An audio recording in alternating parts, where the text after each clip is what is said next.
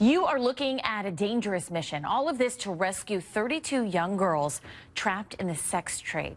This is a sting in Colombia that was led by a former CIA agent and a Hollywood actress. When the traffickers were arrested and the girls were freed, emotions ran high.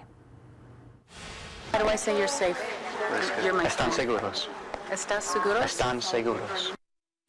You are safe. Those are two words these young girls never thought they would hear. Now, safe from the world of sex trafficking. And it is thanks to a group of brave women and men who made that rescue possible. Two of them join me now. Walking Dead actress Laurie Holden and Tim Ballard. He's a former CIA agent and co-founder of Operation Underground Railroad. This is a group tracking down sex traffickers, helping to free the girls who are trapped in that world and put those sex traffickers behind bars. Thank you so much for being with us, both of you. You know, Tim and Laurie, uh, you both worked together. It was an undercover operation. It was almost like it was out of a movie. How did you do this? How did you accomplish this in only three months, which could possibly take the government years to do? Well, we, as an organization that's private, we can move in ways that, that big governments can't move. Uh, we're, we're, real, we're, we're, flexible. We can go immediately. We get a lead. We're, we're on it.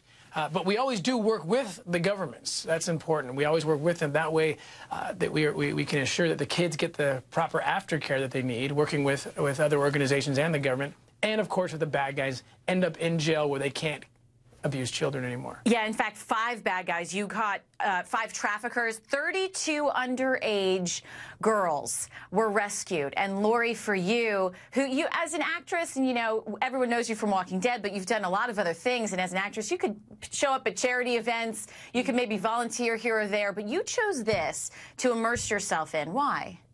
Well, it all began in 2008. Um, uh, during the writer's strike, I volunteered to work at a daycare center for HIV orphans in Khayelitsha, South Africa. And um, I worked with very um, small children, and many of them had been raped because there is the belief that if you have sex with a virgin, that you'll be cured of AIDS. Um, and I fell in love with these children, and to look into their eyes and just see this, uh, uh, this torture uh, of, of their souls, it just rocked me to the core. And I came back to the United States, and I was, um, I was enraged. And uh, I met other like-minded people who were equally as upset about these human rights violations against children. Um, and that's when I got an education that not only was there rampant child rape, but that there was also a market for it. Um, so my first mission was to Southeast Asia, where I met with the International Justice Mission, and with a group of volunteers, we went into one of the brothels in Phnom Penh, and we were able to bring a handful of girls out.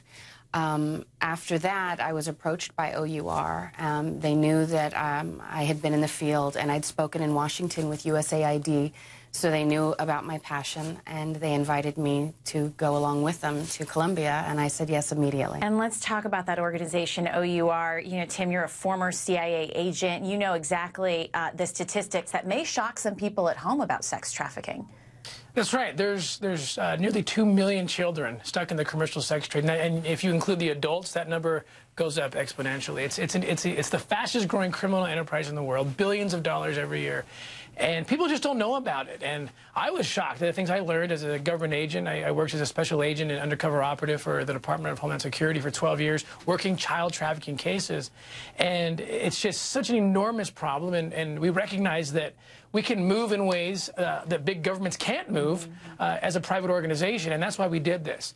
And we still work with the governments. We work with the U.S. government. We work with the foreign governments we work with, and, and we go and work together and, and, and, and, together we're able to, to do a lot more. And a lot more, meaning 32 girls in this one operation rescued. And Laurie, there was pictures of you holding these, these young girls now starting a new life. What happens to them after they're rescued, and what was that like? Um, well, what's wonderful about this organization is that they do a lot of post-rescue, meaning that we make sure that all of the girls are provided for.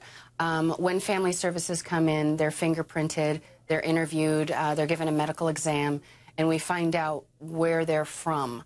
Now, if they have families, they can go back and be reunited, eh, you know, with their homes.